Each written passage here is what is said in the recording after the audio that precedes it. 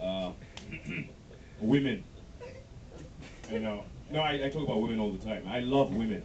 Really, I love women. You know, my mother's a woman. You know, my wife is a woman too. You know, I, I love women. But women do vex mankind so much.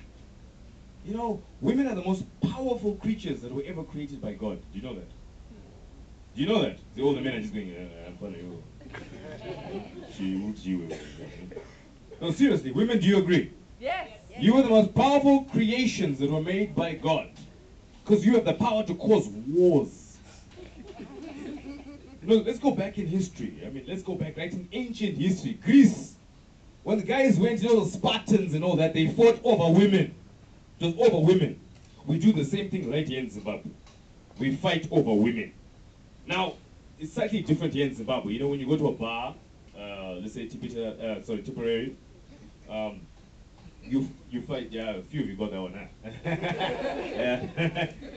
we always fight over women, you know, and it's always because you have now paid a lot of money to buy a lot of ciders. Ciders are expensive, ladies. A man can buy a beer for a dollar. Ciders cost two to three dollars.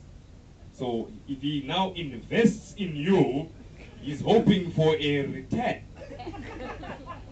Right?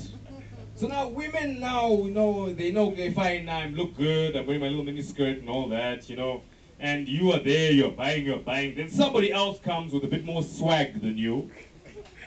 Slightly more swag than you, a bit locks or something, or maybe some cool afro like mine. You know.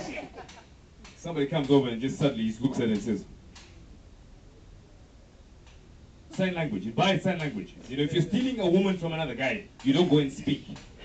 You don't speak. If you're stealing a woman from a guy in a bar, you don't speak. You just come there, you buy something expensive. Make sure it's make sure you're very loud when you order this expensive thing at a bar. Even at Tipperary's, you know, the outside bar. You can do that. You just sit there and you just go, famous grouse, double, and soda. You know? You do that. So you make sure she's there and she hears you. So these women, you know, usually they hear that and say, that's expensive. That's what, five dollars this guy is dropping there. This guy's buying two dollar ciders. Then she'll turn and kind of look at you like that and then turn back to this guy. So she's noticed you. So now you know. So you sip it, you sip it, you wait for her to turn. When she turns, you just go. Sign language. That's all it is. You know? Now women are very, very, very adept at closing a guy. While he's sitting there, he's buying all these things, he's buying his own beers, so he's obviously drunk. She'll turn around and say, I want to speak to my cousin. You talk. I'm coming back. She'll swoop around. Hi. Know? And then she's looking at you now. You know what I mean? And this guy is busy. Ah, Dave! Dave! Ah, Bambo! Hey, Dave! yeah, relative. Oh, you, oh, you know him. I know him too. Yeah.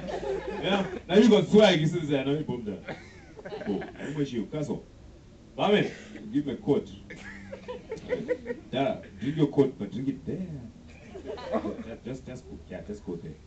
When you speak to the woman, you know what I mean? Then she'll switch from you. Women do that all the time. So I, I was amazed at this. Now I saw something because I've been married. Uh, I've been married five years now, but I've been together with my wife for twelve years. That's a long damn time. You're laughing there.